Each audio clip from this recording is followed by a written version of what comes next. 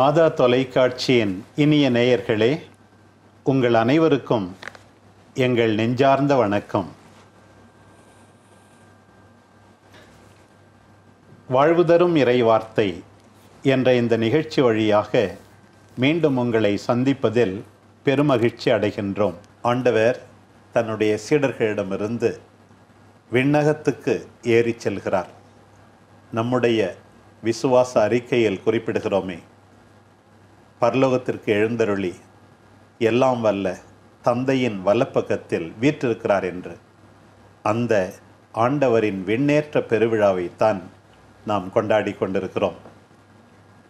நாம் அனைவரும் விண்ணகம் செல்ல வேண்டியவர்கள் என்பதை உணர்த்துகின்ற இந்த விழாவுக்காக திருச்சபை அழகான வாசக பகுதிகளை நமக்கு தந்திருக்கிறது. அவற்றை சிந்தித்து விண்ணை நோக்கிய நம்முடைய பயணத்தில் நாம் தனியே இல்லை என்பதை உணர்ந்து கொள்ள வாழ்வு தரும் இறை வார்த்தை நிச்சயமாக நம் எல்லாருக்கும் துணை நிற்கும். இன்றைய முதல் வாசகம் திருத்தூதர் பணியிலிருந்து எடுக்கப்பட்டுள்ளது. ஒன்றாம் அதிகாரம் ஒன்று முதல் பதினொன்று வரை உள்ள இறைவசனங்கள். இயேசுவினுடைய வாழ்வு இயேசுவின் மீட்பு பணி பற்றிய செயல்கள் அவருடைய மரணம் அவருடைய பாடுகள் அவருடைய உயிர்ப்பு இவைகளை பற்றி பேசும் லூக்கா தனது நற்செய்தியை இயேசுவின் விண்ணேற்றத்தோடு நிறைவுபடுத்துகிறார். எங்கே முடிக்கிறாரோ அங்கிலிருந்து தனது இரண்டாம் பகுதியான திருத்துதர் பணி நூலை ஆரம்பிக்கிறார். ஆகவே லூக்கழுத நற்செய்தி மூன்றாம் நற்செய்திக்கும் அந்த திருத்துதர் பணி நூலுக்கும் ஒரு அழகான பாலமாக வருகிறது இந்த இயேசுவின் விண்ணேற்றம். ஒன்றாம் அதிகாரத்தின் பதினோரு வசனங்களை இரண்டு பகுதிகளாக நாம் பிரிக்கலாம். முதல் ஐந்து வசனங்கள் தூய ஆவி பற்றிய வாக்குறுதி. உயிர் தாண்டவர் விண்ணேற்றம் எழுவதற்கு முன்பாய் சீடர்கள் கொடுக்கிற வாக்குறுதிகள் முதல் பகுதியாகவும் பின்பு வருகிற ஆறு முதல் பதினோரு உள்ள இறை வார்த்தைகள் இயேசுவின் விண்ணேற்றத்தை அப்படி சொற்சித்திரமாக நமக்கு கண்மகம் கண்முன்பாக படம் பிடிக்கிறது. இதில் ஏராளமான இறையியல் கருத்துக்கள் இருக்கிறது நடைமுறை வாழ்வியல் கருத்துக்களும் அடங்கியிருக்கிறது. இயேசுனுடைய வாழ்வில் நடந்த இந்த இயேசுனுடைய விண்ணேற்றம் என்கின்ற இந்த நிகழ்வு மிக மிக முக்கியமான நிகழ்வு. இந்த நிகழ்வை பற்றி இரண்டு நற்செய்தியில் மட்டும்தான் நாம் வாசிக்கின்றோம். ஒன்று லூக்கா நற்செய்தி மார்க் நற்செய்தி அதைத் தொடர்ந்து திருத்தூதர்கள் பணிகள் நூலிலும் இன்றைய முதல் வாசகமாக நாம் இதை வாசிக்க கேட்டு தியானிக்கின்றோம். இந்த பகுதியை பற்றி பேசுகின்ற விவிலிய பே அறிஞர் குன்சல்மான் மீட்பின் திட்டத்தை மூன்று நிலைகளில் சுட்டிக்காட்டுகின்றார். கிறிஸ்துவுக்கு முன்பாக ஒரு நிலை கிறிஸ்துவின் காலத்தில் ஒரு நிலை கிறிஸ்துவுக்கு பிற்பாடு. கிறிஸ்துவுக்கு பிற்பாடு என்று சொல்லுகின்ற பொழுது இயேசுனுடைய இந்த விண்ணேற்ற நிகழ்விலிருந்து பெந்தகோஸ்த நிகழ்விலிருந்து இன்று வரை நடக்கின்ற நிகழ்வுகளை மூன்றாம் பகுதியாக குறித்து காட்டுகின்றார். அப்படியானால் திருச்சபினுடைய வாழ்விலே இந்த நிகழ்வு மிக மிக ஒரு முக்கியமான நிகழ்வு. ஏனென்றால் இயேசு ஒரு பக்கம் தன்னுடைய பணிவாழ்வை நிறைவு செய்கின்றார் தன்னுடைய பணிவாழ்வின் தொடர்ச்சியை தன்னுடைய சீடர்களிடம் ஒப்படைக்கின்றார். அதற்காக இந்த பகுதி மிக முக்கியமான பகுதியாக கருதப்படுகின்றது. இயேசு உயிர்த்து விட்டார் சாவை வென்று விட்டார் மரணத்தை பாவத்தை வென்று விட்டார் வெற்றி வீரராய் அவர்கள் மத்தியிலே இருக்கிறார். அப்போ சீடர்கள் கேட்கிறார்கள் இஸ்ராயலுக்கு நீங்கள் ஆட்சியுரிமை பெற்றுத்தரும் காலம் இதுதானா? அவருடைய பார்வையில் ஒரு அரசியல் பொருளாதார விடுதலை எதிர்பார்த்திருக்கிற ஒரு நிலையை அது குறித்து காட்டுகிறது. ஆட்சியுரிமை பெற்றுத்தரும் காலம் இதுதானா? என்று கேள்வி. ஆனால் ஏ உயிர்த்த ஆண்டவர் சொல்லுகிற அழகான செய்தி எ- என் தந்தை தம் அதிகாரத்தால் குறித்து வைத்துள்ள நேரங்களையும் காலங்களையும் அறிவது உங்களுக்கு உரியது அல்ல என்றார். ஆனால் அதுக்கு பதிலா வேற ஒரு இது சொல்கிறாரு தூயாவு உங்கள் மீது எழுந்தருளி வரும்பொழுது கடவுளின் வல்லமையை பெற்று எருசலேமிலும் யூதேயா சமரியா முழுவதிலும் உலகின் கடையெல்லி வரும் என் சாட்சிகளாக இருப்பீர்கள் என்று அழகான ஒரு செய்தி சொல்றார். இறை ஆட்சியை மீட்டு தரும் காலம் இதுதானோ நீர் செய்ய போகிறீரான்னு கேட்கும்போது ஆண்டவர் அவர்களுக்கு செய்ய போவது நான் அல்ல நீங்கள் செய்யுங்கள் சொல்வது மாதிரி. எங்கெல்லாம் நற்செய்தி மதிப்பீடுகள் இல்லையோ அங்கெல்லாம் நீங்கள் கட்டி எழுப்புங்கள் மக்களை கட்டி எழுப்புங்கள் அநீதியை விரட்டுங்கள் உண்மைக்காக நீதிக்காக பாடுபடுங்கள் என்று அவர்களுக்கு அந்த பொறுப்பை ஆண்டவர் ஒப்படைப்பதாகவும் நாம் பார்க்கிறோம். அதற்கு சக்தி எங்கிருந்து கிடைக்கும்? தூய ஆவியினால் கிடைக்கும். அதுதான். இறையரசின் விழுமியங்கள் வந்து முதல்ல நம்மக்கிட்ட என்னுடைய உள்ளத்தில் என்னுடைய இல்லத்தில் அது இருந்தால்தான் அது வெளியிலும் மற்ற இடத்திலும் வந்து அது பிரகாசிக்கும். அது வந்து மக்களுக்கு சென்றடையும். அதனால் ஃபஸ்ட்டு வந்து நமக்குள்ள அது வந்து இருக்கணும். இதில் ரொம்ப முக்கியமான ஒரு கருத்து வந்து நீங்கள் என் சாட்சிகளாக இருப்பீர்கள் என்பதுதான். இன்னொன்றையும் நாம் மறந்துவிடக்கூடாது. ஏனென்றால் நாசிரியத்தில் இயேசுனுடைய பொது வாழ்வு பணி வாழ்வு தொடங்குகிறது. நற்செய்தி முழுவதுமாக எருசலேமை நோக்கிய ஒரு நெடிய பயணமாக ஆண்டவருடைய வாழ்க்கை அமைகிறது. இங்கும் கூட உயர்த்த ஆண்டவர் அவர்களுக்கு சொல்கிறார் எருசலேமை விட்டு நீங்காமல் காத்திருங்கள் என்று சொல்லுகிறார். பிறகு எருசலேமில் தான் அவர்கள் தூய ஆவியை பெற்றுக்கொள்வார்கள். பெற்றுக்கொண்ட பிறகு சாட்சிய வாழ்வு. அப்படி எருசலேமில் தொடங்குகிறது கடைசியாக ரோமையிலே முடிகிறது. இவற்றுக்கெல்லாம் நீங்கள் சாட்சிகள் என்று லூக்கா தன்னுடைய இருபத்தி நான்காம் அதிகாரத்தில் நம்ம பார்க்குறோம். அதே வார்த்தை சொல்றார். கமிஷன் கொடுக்கும்போது சீடர்களுக்கு உலகெங்கும் சென்று நற்செய்தி இருக்குல்ல அவன.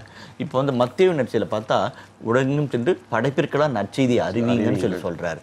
ஆம், மார்க் எழுதிய நற்செய்தியில் வந்து அறிவிக்க சொல்றது வந்து அருங்குறிகளும் அடையாளங்களினாலும் சம நற்செய்தி அறிவிக்க சொல்லி சொல்றாரு. ஆனா லூக்காவுக்கு வந்து நற்செய்தி அறிவிப்புன்னு சொல்ல வரல. சாட்சி வாழ்வு. மிஷன் ஆஸ் விட்னஸ் அதுதான் வந்து ரொம்ப முக்கியமான ஒரு கருத்து. அது வந்து நம்ம மறந்துடக்கூடாது. சாட்சி இன்றைக்கு வந்து நற்செய்தி தெளிவாக உறக்க அறிவிக்கக்கூடிய வாய்ப்புகள் நமக்கு இல்லாமல் இருக்கலாம். ஆனால் நம்முடைய சாட்சி வாழ்க்கையினாக ஒரு வலிமையான நற்செய்தி அறிவிப்பு பணியை நம்ம செய்ய அழைக்கப்பட்டிருக்கிறோம். இந்த படிப்படியான சாட்சிய வாழ்வும் மிக முக்கியமானது. இப்போ ஒவ்வொருவரும் ஆண்டவர் இயேசு கிறிஸ்துவுக்கு சாட்சி புரிய தொடங்குகின்ற இடம் முதலில் குடும்பமாக இருக்க வேண்டும். சொல்வார்கள் வீட்டில் ஆடாமல் நீ வந்து அரங்கத்தில் ஆட முடியாது இல்லையா? அதே போல் கொஞ்சம் கொஞ்சமாக உன்னுடைய சாட்சிய வாழ்வு இன்னும் அதிக மக்களை தொட வேண்டும். சில பேர் வீட்டில் வந்து ஒரு விதமான வாழ்க்கை வாழ்ந்து கொண்டு தொலைதூரத்தில் இருக்க மக்களுக்கு நான் சாட்சிய வாழ் வாழ்கிறேன் என்று சொன்னாலும் அதையும் நாம் ஏற்றுக்கொள்ள முடியாது. இயேசுவை வழிநடத்திய அதே தூய ஆவி இயேசுவை பலப்படுத்திய அதே தூய ஆவி இயேசுவை வழிநடத்திய அதே வல்லமை சீடர்களிடம் வரும். தூயாவி நீங்கள் பெற்றுக்கொண்ட பின் அப்போ நம்ம சாட்சி வாழ்க்கைக்கு அடிப்படையாக நம்மளுக்கு உருது உரமூட்டுவதாகவும் உறுதியூட்டுவதாகவும் இருப்பது தூய் ஆவியானவர் தான் என்பதையும் லூக்கா அழகாக இங்கே பதிவு செய்கிறார். இயேசுனுடைய நற்செய்தி அறிவிப்பு பண்ணி இறையாட்சி பணியை ஒவ்வொருவரும் குடும்பத்திலும் சரி வாழ்கின்ற இடங்களிலும் பணித்தலங்களிலும் நாம் தொடர வேண்டும் என்பதற்காக தான் ஆண்டவர் இயேசு கிறிஸ்து தன்னுடைய பணியை இங்கே நிறைவு செய்கின்றார். அதனால தான் புனித அகுஸ்தினர் அழகாக சொல்லுவார் இந்த பகுதியை பற்றி சுட்டி காட்டுகின்ற பொழுது இயேசு விண்ணகத்தை விட்டு நம்மிடம் தேடி இந்த உலகத்திற்கு வந்தபோது விண்ணகத்தை விட்டு விட்டு வரவில்லை. அங்கேயும் இருக்கிறார். அவர் வாழ்கிற இடங்கள் எல்லாம் விண்ணகத்தினுடைய பிரசன்னமும் அருளும் இருக்கின்றது. அதே போலவே விண்ணகத்திற்கு திரும்பி செல்லுகின்ற பொழுது நம்மை விட்டு செல்வது கிடையாது. நமக்கு அந்த அருளையும் ஆற்றலையும் சக்தியையும் பலத்தையும் தருகின்றார். பதினோராவது வசனத்தில் வந்து வாசிக்கிறோம். கலிலேயரே நீங்கள் ஏன் வானத்தை அன்னார்ந்து பார்த்து கொண்டே நிற்கின்றீர்கள்? இந்த இயேசு உங்களிடமிருந்து விண்ணேற்றம் அடைந்ததை கண்டீர்கள் அல்லவா? அவ்வாறே அவர் மீண்டும் வருவார். மீட்பின் திட்டத்தினுடைய முழுமை அதாவது இயேசாண்டவர் வராரு நம்மளை வந்து ஆவியானவரால் நம்மளை உறுதிப்படுத்துறாரு நம்மள்ட்ட பணி வாழ்க்கையை கொடுக்குறாரு சாட்சிகளாக இருங்கன்னு சொல்லி சொல்றாரு. அதோட முடியல அவர் மீண்டும் வருவார். வருவார் வருவார். மீண்டும் வருவார். அவருடைய வருகை வந்து கண்டிப்பா இருக்குது. ஆனா அது வந்து நம்ம இன்ன- இது வந்து உடனே நாளைக்கு தான் இருக்குது. ஏன்னா நீங்க பாத்தீங்கன்னா திருத்தூதர்கள் பணி காலத்திலே வந்து பாத்தீங்கன்னா என்னைக்கு வரப்போகுது இப்போ வரப்போகுது அப்போ வரப்போகுதுன்னு சொல்லிட்டு அந்த மக்கள் வந்து அதை ரொம்ப ஆவலோடு எதிர்பார்த்துக்கிட்டு இருந்தாங்க. பட் அப்படி கிடையாது. ஆண்டவர் வருவார். அதனால எப்போ வருவார் எந்த நேரத்தில் வருவார்னு நம்மளுக்கு தெரியாது. அதற்கு நாம் ஆயத்தமாக நமது சாட்சிய வாழ்க்கையை நாம் வாழ்ந்து கொண்டே இருக்க வேண்டும். அதிலும் அது சொல்லும்போது கலிலேயரேன்னு கூப்பிடுறாரு. அதற்கும் ஒரு அர்த்தம் உண்டு. நீ இன்னும் ரொம்ப உன்னுடைய தொடக்க காலத்தை மறந்துவிட்டு நீ செய்ய வேண்டிய பணியை மறந்துவிட்டு நீ அரசர்கள் என்றெல்லாம் நினைத்து கொண்டு அல்லது விண்ணக மனிதர்கள் என்றெல்லாம் நினைத்து கொண்டு மக்களுடைய அன்றாட தேவைகளை கஷ்டங்களை கண்ணீர்களை மறந்துவிடக்கூடாது என்று அவர்களை நினைவுபடுத்துவதற்காக அவர்களுடைய பணித்தளத்தை நினைவூட்டுவதற்காக இந்த கலிலேயரே என்று வானதூதர் இருக்கிறது. இல்லைங்களா? இப்பொழுது உங்களிடமிருந்து எடுத்துக்கொண்டுள்ள இயேசு மீண்டும் வருவார் இறுதி நாளில் நமக்கு நல்லது செய்தவர்களுக்கு நன்மைத்தனத்தின் பரிசுகளை தரவும் பொல்லாது செய்தவர்களுக்கு அதற்கான தண்டனை தண்டனை தருவதற்கு வருவார் ஆனா இந்த மீண்டும் வர இருக்கிற ஆண்டவரை கடைசி நாள்ல மட்டும் இல்ல அன்றாட வாழ்க்கையில் நம்ம சந்திக்கலாம் அப்படின்ற ஒரு செய்தியும் ஒரு சொல்றாங்க. எப்படின்னாக்க ஒன்று அன்றாட திருவுற்சாதன கொண்டாட்டங்களில் திவ்ய நற்கருணை திருமுழுக்கு உறுதி பூசல் ஒப்புரு அருட்சாதனம் இந்த இருட்டில் ஆண்டவர் நமக்காய் காத்திருக்கிறார். அவரை நம்ம சந்திக்கிறோம். இது முதலாவது காட்சி. இரண்டாவது ஏழைகள் இடத்துல மத்திய இருபத்தைந்தாம் அதிகாரத்தில் சொல்லப்பட்டது போல சின்னஞ்செறிய சகோதரர்கள் ஒருவருக்கு செய்த போதெல்லாம் எனக்கே செய்தீர்கள். இந்த ரெண்டு விதத்திலையும் அருட்சாதன கொண்டாட்டங்களிலும் ஏழை எளிவரிடத்திலும் இந்த வருகின்ற ஆண்டவரை நாம் கண்டுகொள்ளவில்லைன்னு வச்சுக்கோங்களேன். அந்த இறுதி நாள் வர ஆண்டவர் உங்களை நான் அறியேன் என்னை விட்டு அகன்று போங்கன்னு சொல்லியிருப்பார் கட்டாயம். அப்ப அந்த வருகிற ஆண்டவரை த சந்திப்பதற்கு நாம் தக்க முறையில் தயாரிக்க வேண்டும். அதுதான் இடைப்பட்ட இந்த காலகட்டம் நமக்கு கொடுக்கப்பட்டிருக்கிறது. இப்போ நம்ம வந்து ஆண்டவரை நீங்கள் சொன்ன மாதிரி அந்த திருவருட்சாதன கொண்டாட்டங்களில் வந்து அவரை முழுமையாக நம்ம தரிசிக்கணும். அந்த திருவருட்சாதன கொண்டாட்டங்களை தரிசித்து வலுப்பெற்ற நாம் அதை நம்ம வந்து செயல்பாட்டில் நம்ம வந்து அதை வெளிப்படுத்தணும். இது ரெண்டும் நம்மள்கிட்ட நிறைவாக இருந்துச்சுன்னா அவருடைய வருகையின் போது நாம் அவருக்குரிய தேர்ந்தெடுக்கப்பட்ட மக்களாக நம்ம அவருக்கு முன்னாடி நிற்க முடியும். இரண்டாம் வருகையை குறித்து நாம் கலங்க வேண்டியது கிடையாது. யார் என்ன சொன்னாலும் அதற்கு செவிமெடுக்க வேண்டியது கிடையாது. பதில் வந்து இந்த இறை வார்த்தையில் இருக்கின்றது. ஆண்டவர் கொடுப்பதெல்லாம் எப்பொழுதும் நீங்கள் ஆயத்தமாக இருங்கள். அந்த நாளை குறித்து நீங்கள் கவலைப்பட வேண்டாம். ஆண்டவருக்குள் வாழுங்கள் அன்பு செய்து வாழுங்கள். அதன் பிற்பாடு ஆண்டவர் எது நமக்கு ஏற்றதோ அதை சிறப்பாக நமக்கு செய்து தருவார் என்பதுதான் தான் இறைவார்த்தை நமக்கு தருகின்ற நம்பிக்கை. மிக முக்கியமாக நற்கருணை கொண்டாட்டத்தில் தந்தை அவர்கள் சொன்னது போல தேவையில் இருக்கின்ற ஏழை எளியவர்களின் அழுகுரலில் நம்மை தேடி வருகின்ற இந்த ஆண்டவரை நம்முடைய வாழ்நாள் முழுவதும் நாம் கண்டுகொண்டு அவர் நமக்கு கற்பித்தது போல நாம் வாழ்ந்து கொண்டே இருந்தால்தான் அவருடைய இறுதி வருகை நமக்கு மகிழ்ச்சி உள்ளதாக அமையும். ஆண்டவர் நம்மை விட்டு உடல் அளவில் பிரிவது நமக்கு ஒரு ஒப்புயர்வற்ற ஒரு உன்னதமான ஒரு பணியை கொடுத்துவிட்டு பிறகு ஆண்டவர் பிரிந்து செல்வதை நாம் இங்கே உணர்ந்து கொள்கிறோம். அதைத்தான் இன்றைய நற்செய்தி பகுதியில் மார்க் நற்செய்தியில் பதினாறாம் அதிகாரத்தில் வாசிக்க கேட்கிறோம். ஒன்பது முதல் இருபது இறை வார்த்தைகள் பல்வேறு விதமான இறையியல் கருத்துக்களையும் மற்ற நற்செய்திகளில் இயேசுவின் உயிர்ப்பு காட்சிகளையும் ரத்தின சுருக்கமாக சொல்லுவதைப் போல ஒரு தொகுப்பு உரையாக இது அமைந்திருக்கிறது. அந்த பகுதியினுடைய இறுதி செய்தியை தான் இன்றைய நற்செய்தியின் வாசகமாக வைக்கிறோம். மார்க் பதினாறு பதினைந்துலேருந்து இருபது உள்ள இறைய வார்த்தைகள். இதில் வந்து ரெண்டு இது இருக்குது. ஒன்று நற்செய்தியை பறைசாற்ற சீடர்களை அனுப்புவது. கமிஷன் நீங்கள் சொன்னீங்க இல்லைங்களா? நற்செய்தி பறைசாற்ற சீடர்களை அனுப்புவது ஒன்றாவது. இரண்டாவது இயேசுவின் பின்னேற்றம் உலகெங்கும் சென்று படைப்பிற்கெல்லாம் நற்செய்தியை பறைசாற்றுங்கள். நம்பிக்கை கொண்டு திருமுழுக்கு பெறுவோர் மீட்பு பெறுவர். நம்பிக்கையற்றவரோ தண்டனை தீர்ப்பு பெறுவர். நம்பிக்கை கொண்டோர் பின்வரும் அருள் அடையாளங்களை செய்வர். என் பெயரால் பேய்களை ஓட்டுவர் புதிய மொழிகளை பேசுவர் பாம்புகளை தம் கையால் பிடிப்பர் கொள்ளும் நஞ்சை குடித்தாலும் அது அவர்களுக்கு தீங்கிழைக்காது. உடல் நலமற்றோர் மீது அவர்கள் கைகளை வைப்பர் அவர்கள் சுகம் பெறுவர். ஆண்டவருடைய வல்லமையின் அடையாளமாக இருப்பார்கள். இறை ஆற்றலின் அடையாளமாக இருப்பார்கள். They will be the extension of the healing hands of God விடுதலை தருகின்றவர்களாக இருப்பார்கள். சமாதானம் ஏற்படுத்துகின்றவர்களாக இருப்பார்கள். சமூகத்தில் நடைபெறுகின்ற அடிமைத்தனங்களிலிருந்து விடுதலை தருகின்றவர்களாகவும் ஒரு புதிய இறைவாக்கு பணிகளை நிறைவு செய்கின்றவர்களாகவும் இருப்பார்கள் என்பதை தான் இந்த இறைவார்த்தை பகுதி வலிமையாக சுட்டிக்காட்டுகின்றது. உலகெங்கும் சென்று படைப்பிற்கெல்லாம் நற்செய்தியை பறைசாற்றுங்கள். அதுதான். அதை பற்றி நம்ம நினைத்து பார்க்கும்போது நற்செய்தியை அறிவியுங்கள். வாழ்வால் அறியுங் அறிவியுங்கள். வார்த்தையால் அறிவியுங்கள் என்று ஆண்டவர் மிக தெளிவாக சொல்லியிருக்கிறார். அப்படி நீங்கள் உண்மையாகவே ஆண்டவருக்கு பிரமாணிக்கமாக இருந்து அறிவித்தால் அவருடைய ப்ரொடெக்ஷன் அவருடைய பாதுகாப்பு இருக்கும். அவருடைய வல்ல செயல்கள் உங்கள் வழியாக நிறைவேறும். செயல்படுபவர் ஆண்டவர்தான் என்று அதையும் இந்த பகுதி உணர்த்துவதையும் நாம் பார்க்கிறோம். பௌரடிகளார் சொல்லும் பொழுது சொல்லுவார் கிறிஸ்து உயிர்த்திராவிட்டால் நம் நம் நற்செய்தி அறிவிப்பு வீண் என்று சொல்வார். அந்த வகையில் பார்க்கின்ற பொழுது கிறிஸ்துவின் உயிர்ப்போடு ஒன்றிணைந்த இயேசுவின் விண்ணேற்றம் நற்செய்தி அறிவிப்புக்கு அடித்தளமாக இருக்கிறது. உயிர்த்தெழுந்த ஆண்டவர் விண்ணேற்றமடைந்த ஆண்டவர் தமது பணியை நமது நற்செய்தி அறிவிப்பின் வழியாக செயல்படுத்துகிறார் வாழ்கிறார் என்று நம்ம எடுத்துக்கொள்ளலாம். ரெண்டு விஷயங்கள் ரொம்ப அடிப்படையான ஒரு விஷயமா இருக்குது. ஒன்று வந்து ஆண்டவர் தன்னுடைய விண்ணேற்றத்திற்கு முன்னால் தன்னுடைய சீடர்களுக்கு காட்சி கொடுத்து அவங்கள வந்து திடப்படுத்துகிறார் தைரியப்படுத்துகிறார் அதாவது நான் வந்து செத்த கடவுள் அல்ல உயிர் உள்ள கடவுள் அப்படின்னு திடப்படுத்துகிறார் ரெண்டாவது பகுதியில் அவர் முன்னேற்றம் அடைவதற்கு முன்னால் அவர்களுக்கு ஒரு கட்டளை அதான். இவ்வளோ நேரம் நம்ம பேசிட்டு இருந்த நற்செய்தி அறிவியுங்கள் பறைசாற்றுங்கள் அப்படின்ற ஒரு கட்டளையை கொடுத்து ஒரு பணியை கொடுத்து அவர்கள் வந்து அனுப்பி வைக்கிறார். போங்க எல்லா பக்கமும் போய் மக்கள்கிட்ட நீங்கள் சொல்லுங்கள் தொடர்ச்சியாகத்தான் பின்பு இருக்கிற இறுதியாக வருகிற இரண்டு வசனங்களும் சொல்லப்பட்டிருக்கிறது. அந்த இரண்டு வசனங்கள் ஒன்று இயேசு விண்ணேற்றம் அடைந்து கடவுளின் வலப்புறம் அமர்ந்தார். அது வந்து ஒரு அழகான செய்தி. அந்த செய்தி வந்து ரொம்ப எளிமையாக சொல்லப்பட்டாலும் அதில் அடங்கியிருக்கிற இறையியல் கருத்துக்கள் அழகான கருத்துக்கள். ஒன்று வெண்ணேற்றம் அடைந்து தந்தையின் வலப்பக்கம் அமர்ந்தார். தந்தையிடமிருந்து இறங்கி வந்தவர் இறை திருவுருவத்தை உலகத்தில் செயல்படுத்தி மீட்பை நம்மளுக்கு பெற்று தந்து மீண்டும் தந்தையிடம் ஏறிச் செல்கிறார். அப்போ இந்த விண்ணேற்றம் என்பது நிறைவின் செய்தி. அவருடைய மீட்பு திட்டத்தினுடைய நிறைவாக அமைகிறது முத்தாய்ப்பாக அமைகிறது. வெற்றி வீரராய் ஜெகத்தின் இரட்சகராய் இறங்கி வந்த ஆண்டவர் திருவுளத்தை நிறைவேற்றி எல்லாருக்கும் ஒரு முன்மாதிரி அமைந்து செல்கிறார். நாம் தோல்வியின் பிள்ளைகள் அல்ல சிலுவில் அறையப்பட்ட கிறிஸ்துவனுடைய பிள்ளைகளாக இருந்தாலும் அதை தாண்டிய உயிர்ப்பின் வெற்றியின் பிள்ளைகள் என்பதை இந்த விண்ணேற்றம் நமக்கு உறுதிப்படுத்துகிறது. அவர் போன இடத்துக்கு அந்த வெற்றியில் நமக்கும் பங்கு இருக்குதுன்னு என்பதை அழுத்தம் திருத்தமாக சொல்கிற அழகான ஒரு திருவிழா தான் இன்றைய திருவிழா. அப்போ ஆண்டருடைய விண்ணேற்றம் என்று சொன்னால் அது வந்து மகிழ்ச்சியின் செய்தியை தருகிறது நிறைவின் செய்தியை தருகிறது வெற்றியின் செய்தியை தருகிறது மூணு விஷயத்தை வந்து நமக்கு வந்து அது உறுதிப்படுத்துது. இங்கே இதே பகுதியிலே நாம் பார்க்கிறோம்.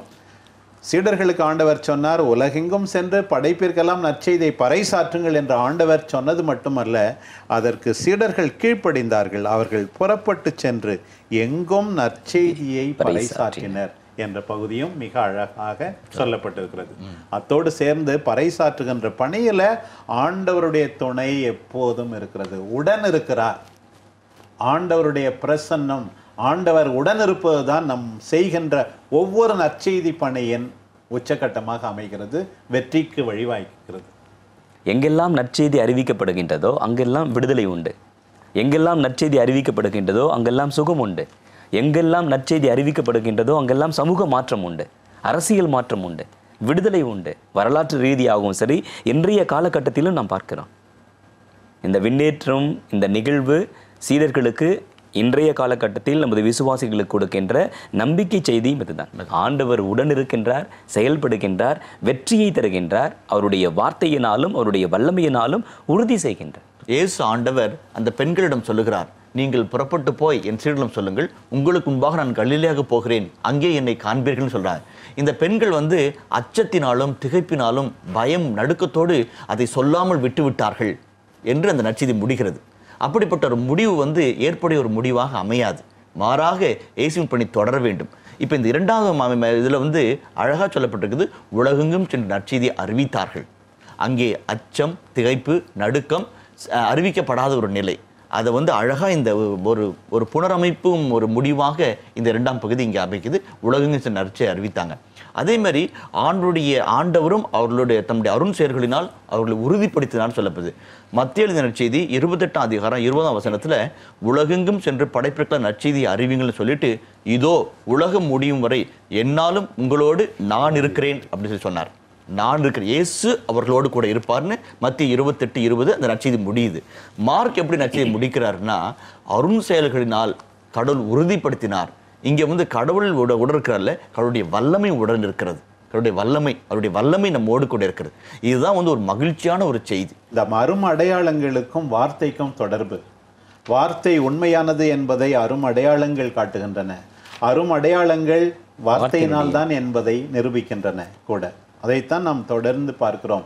ஏன்? வத்திகான் சங்க அந்த திருவழிப்பாடு என்ற ஏட்டிலும் இந்த கருத்து மிக அழகாக விளக்கப்பட்டுள்ளது. அதை நாம் புரிந்து கொள்ள வேண்டும்.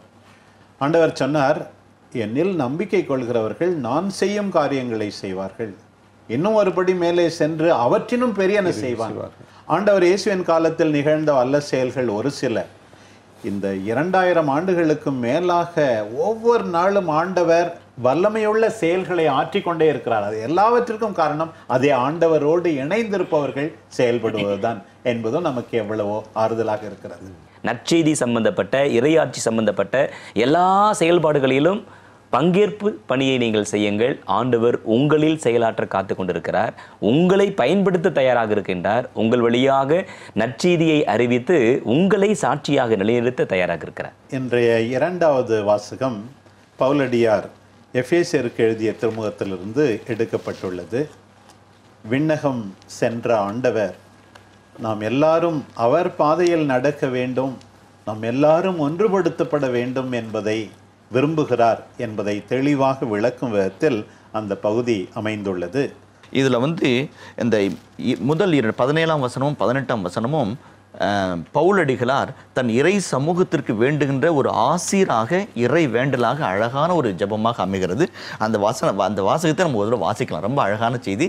நேயர்களும் கேட்கட்டும். நம் ஆண்டவராக இயேசு கிறிஸ்துவின் கடவுளும் மாட்சிமை மிகுந்த தந்தையுமானவர் அவரை முழுமையாக நீங்கள் அறிந்து கொள்ளுமாறு ஞானமும் வெளிப்பாடும் தரும் தூய ஆவியை உங்களுக்கு அருள்வாராக. எவ்வளோ பெரிய அழகான ஒரு ஆசீர்வாதம் பாருங்க. தூய ஆவியிலேருந்து அந்த கடவுளுக்கு முழுமையாக தெரிந்து கொள்ளக்கூடிய வல்லமை. ரெண்டாவது வந்து அந்த கிறிஸ்துவிழா கிறிஸ்துவ வழியாக கடவுள் கொடுத்த அழைப்பு எவ்வளவு மேன்மையானது உன்னதமானது வல்லமையானது மதிப்பு மிகுந்தது ஈடு இணையற்றது அதை நீங்க புரிந்து கொள்ள உங்கள் அகக்கண்களை அவர் திறப்பாராக என்று அழகான ஒரு பெரிய வசனம் அழகான ஒரு ஆசீர்வாதம். அந்த ஒரு அழைப்பினுடைய மேன்மையை நீங்க கண்டுகொள்ளும்படி உங்கள் அகக்கண்களுக்கு ஆண்டவர் ஒளி தருவாராக ஒளியூட்டுவாராக என்ற இரண்டாவது வேண்டுதலை வைத்துவிட்டு மூன்றாவது பகுதியில் கிறிஸ்துவனுடைய விண்ணேற்றத்தை விண்ணேற்பை பற்றி அழகாய் பவுலடிகளார் விளக்கிச் சொல்லுகிறார். எல்லா நிகழ்வுகளிலும் தூய ஆவியானவர் முதன்மையாக இருந்து செயல்படுகின்றார். ஒன்று ஆற்றலை தருகின்றார் பலத்தை தருகின்றார். இயேசுவின் எல்லா இந்த இறையாட்சி பணிகளிலும் தூய ஆவியானவர் உடனிருந்து செயல்படுகின்ற இந்த உண்மையை பவுலடிகளார் சுட்டிக்காட்டுகின்றார். அதே தூய ஆவியானுடைய துணை நமக்கும் உண்டு. சாட்சி வாழ்வுக்காக இறையாட்சி பணிக்காக தூய ஆவியானவரின் துணை நமக்கு உண்டு அவருடைய வெளிப்பாடு நமக்கு உண்டு அவருடைய ஞானம் நமக்கு உண்டு என்பதை பவுலடிகளார் வலியுறுத்தி சொல்லுகின்றார். கிறிஸ்துவிடம் செயல்படுத்தி இறந்த அவரை உயிர்த்தெழச் செய்து விண்ணுலகில் கடவுள் தம் வலப்பக்கத்தில் அமர்த்தினார். நம்ம வந்து இதை திருவருகை காலத்தில் கூட இந்த கடவுளின் வலப்ப வலப்புறத்தில் அமர்வது கடவுளின் வலப்புறம் கடவுளின் வழக்கை அதன் அர்த்தம் என்ன என்ன என்பதை பற்றி நாம் சிந்தித்து பார்த்தோம். கடவுளுடைய வலப்புறம் என்பது வல்லமை அதிகாரம் அந்த இடத்தில் மீண்டும் இருப்ப இருக்க செய்தார். அந்த திருத்துதர் பணியிலுள்ள கூட க வட வலது பக்கத்தில் அமர்ந்திருக்கிறார் என்று சொல்லி நாம் பார்க்கிறோம். கடவுளுடைய வல்லமையில் அவர் பங்கேற்கிறார். எந்த இடத்திலிருந்து இறங்கி வந்தாரோ அங்கே ஏறி செல்கிறார்.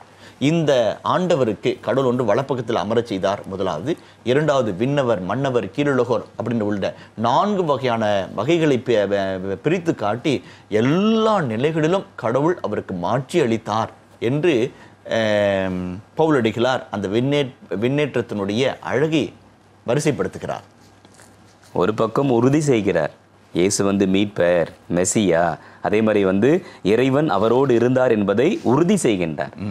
அத்தன்டிஃபிகேஷன் நடக்க நடைபெறுகின்றது. இன்னொரு பக்கம் மகிமைப்படுத்துகின்றார்.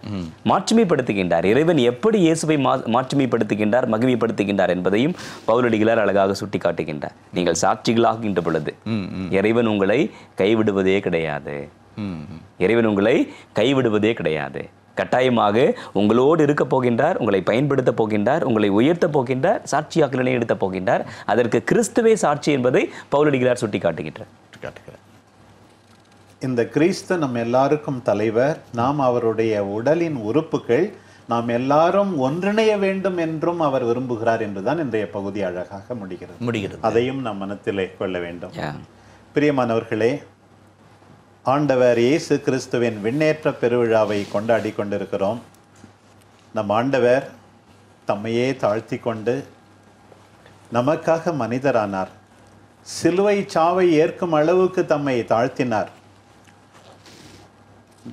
தந்தையின் திருவுளத்தை நிறைவேற்ற நம்மீது கொண்ட அன்பினால் தம் உயிரையே சிலுவையில் நமக்காக கையளித்தார்.